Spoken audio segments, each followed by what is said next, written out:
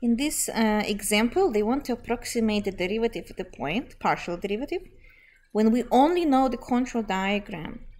So we used to do in Calculus 1 something like this when we only had the graph, and they would ask us to approximate derivative of this point. Do you remember what we used to do for that if it was just 2D? What was derivative at this point?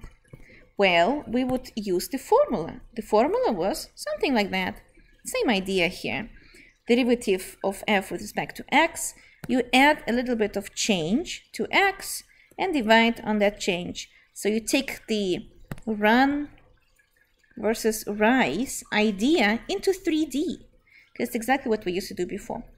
So now our height is just a third dimensional object. Now it's a mountain instead of two dimensional.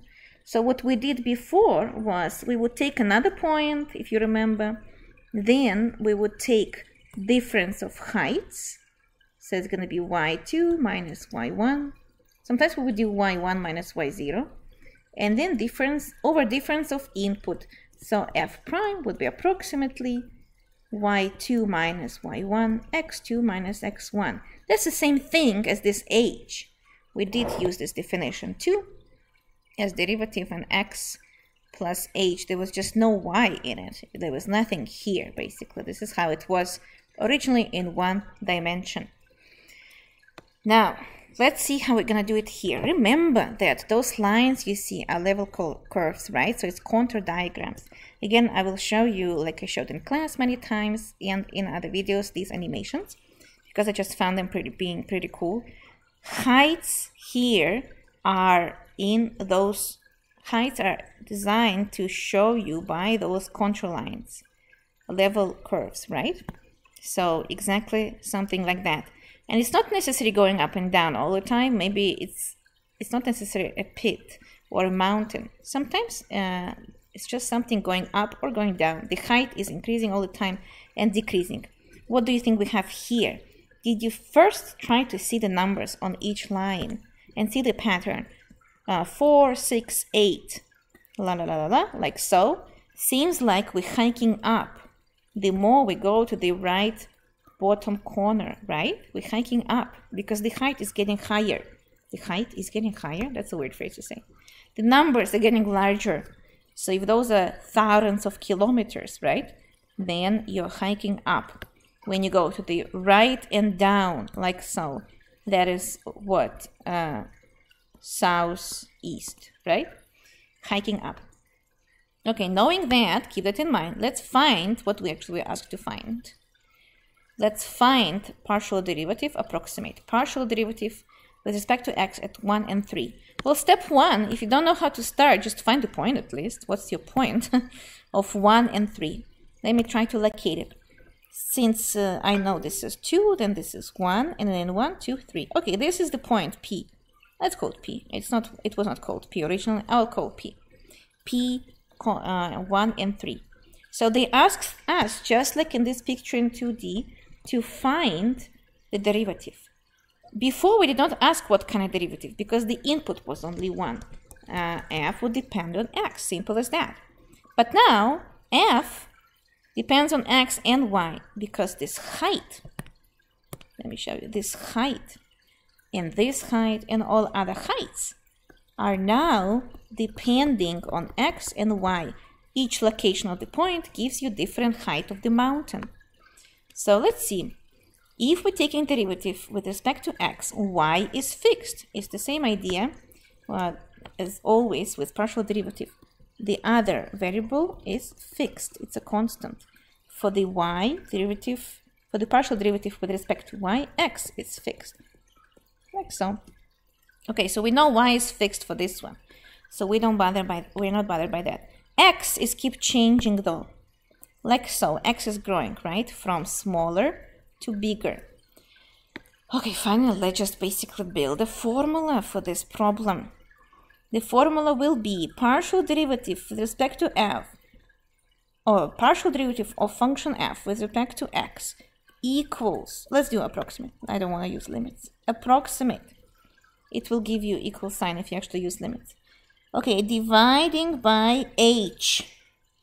h will be small change with x. It can be any small change. You can do this one, you can do this one. The smaller the better. But uh, usually it's convenient to use this change where the height will be easy to calculate. So if I choose this kind of change, I kind of like what this height is. Is it uh, 11 because it's between 10 and 12? Is it 11.3? Hard to know. So it will be clever to use this change, this change, because I know height of the next point and the previous point. P is the original point. Uh, let's call, call M is the next point, right?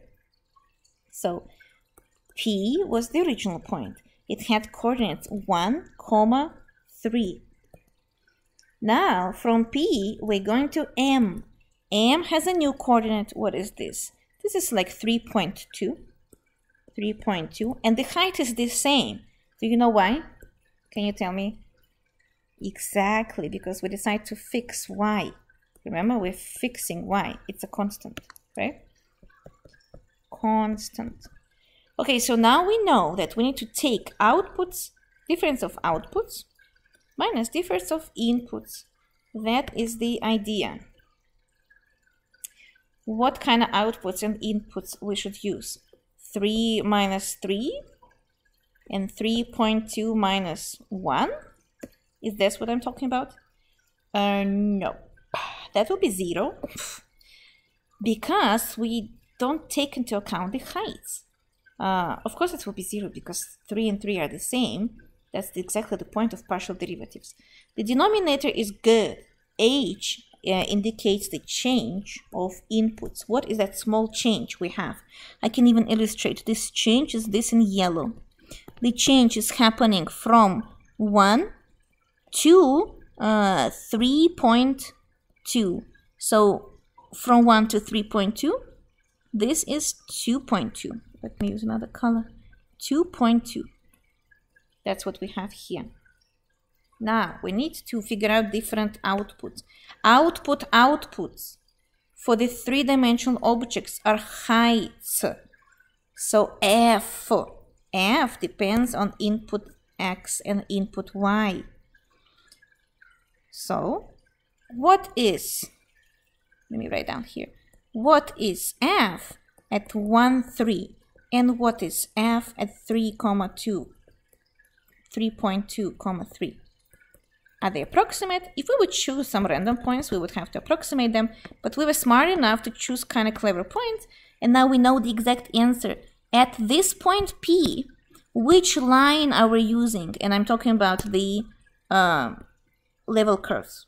Which curve we're using? Height 10. So original one is 10. And then M, point M. Let me go point P point M.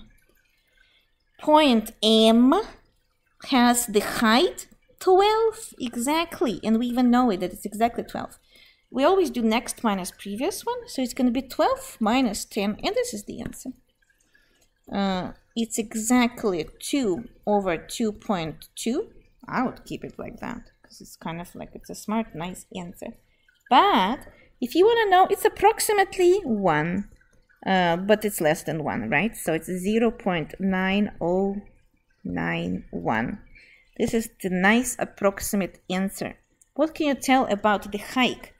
Uh, the derivative end up to be positive. So are we hiking up or down? Seems like we're hiking up. The derivative is small, so it's going to be a pleasant hike, but it's positive.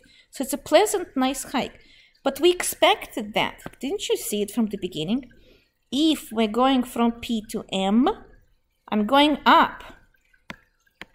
I started at the level 10, and now I'm going to 12, and after this I will go to 14 if I don't change the direction. So I'm hiking up. It's a nice hike, uh, pleasant hike. Do you want to practice another point? Uh, how about, not another point, the same point, but derivative with respect to y at 1 comma 3. How about that? idea is going to be is going to be the same let's choose another color choose this point p and something so point p is fixed it's the same point choose a convenient point higher than p. In our case, before it was to the right because it's derivative with respect to x, but higher will be with respect to y, right?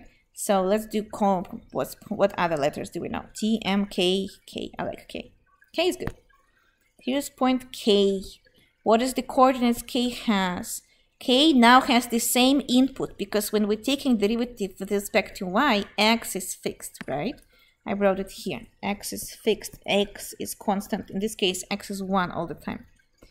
But then output is for y. It's not output. That is your input y. Eh, it's like 5.7. I don't know. 5.7 approximately, right? At this point. Now we're taking this change. This is my h. Change here. Don't move change for y. It's a small change k. So that's not h anymore. They call it k in this formula. I always call it h. h is a nice reserve letter for small changes. h and k, small change. You don't want to go too far because everything can be changed if you go too far. So it's a small convenient change. And now we're just looking at this. We're looking at height at k 8 minus height at P, still 10, nothing changed there. And we're dividing by K. K is a different, small change we have. So derivative of f with respect to y will be change in y. You just either calculate it right away or find the difference. 5.7 minus whatever was the original uh, y, that is 3. 5.7 minus 3. 5.7 minus 3, that's change in y.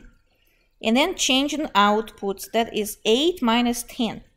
Wait, we're getting a negative number. Let's see if it matches our prediction.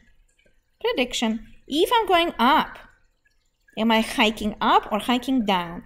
Well, will, we were at 10. Now we're going to 8. After this, we're going to 6. We're hiking down. So it will be a negative number. Probably still small because the hike seems to be pleasant. But we're hiking down. Derivative should be negative with respect to y. Unlike we had positive with respect to x. So that's going to be minus 2. Actually, I forgot to calculate it in my calculator. Minus 2 over 2.3 uh, so what is that? 2 divided, not multiply, divide by 2.3 is approximately negative 0.8696. See, it's a small negative number. Hike is still very pleasant.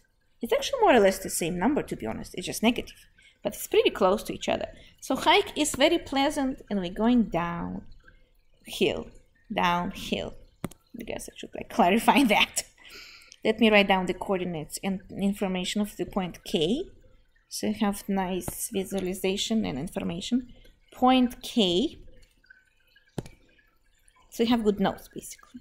At point K, we had the same input, one, that's important, but new output. The output I just randomly or like tried my best to approximate 5.7. 5.7. So see the difference we had different x's. Now we have different y's, right? And the height was exactly known. It was 8. It's a level curve. The level curve was signed. And it says, oh, on k, you actually are at the level 8. And that's how you're working on these problems. It's actually pretty interesting, pretty clever, clever uh, very enjoyable uh, until you get it on the exam, of course. So then it's kind of hard. I feel like these problems are not good for exams. Uh, it's too easy to mess up if you panic, and I feel like it's not fair to give it to students on the tests. So I try to avoid giving those graphs on the tests. If you panic, you forget what's going on, it's hard to answer this question. But what I like you to understand is this comparison between 2D and 3D. That's very important that we're going from calculus 1 to calculus 3, three-dimensional and upper dimensional world uh, pretty fast. We're developing all the same ideas we learned in Calculus 1, limits, derivatives, chain rule, and all of that in higher dimensions. Thank you for watching, and I will see you next time.